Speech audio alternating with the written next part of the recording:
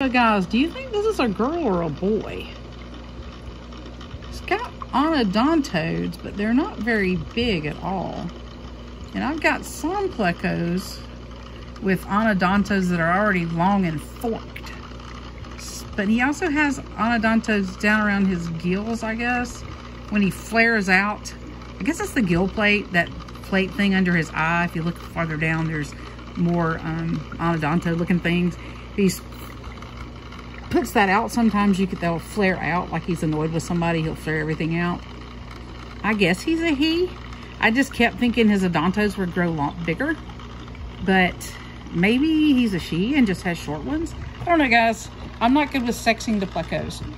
Um, or maybe he just needs a girl in here to give him a reason to grow more anodontodes. I don't know. He was just out front, mainly because his cave was buried, but I unburied his cave and upset the fish so he could get back in his little, his cave again, because that one was completely buried in sand for some reason. My guess is plecos. I mean, not plecos, but corydoras. So I unburied his little cave, and I was to see if he went back in it or not. It's getting closer. Yeah, I got you home unburied, baby. I did. He's a good, he's a good fishy, fishy fish. I do like my plecos. Just they're funny. Anyway, don't have an idea about sex, let me know.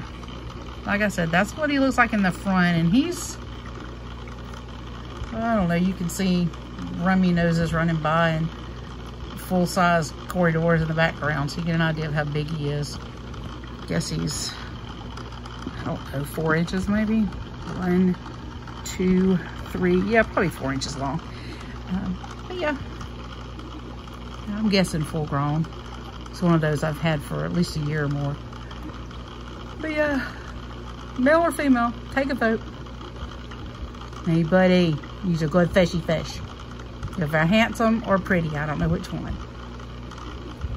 But I need to know which sex so I know what, what to put in here with him or her. Yep. All right.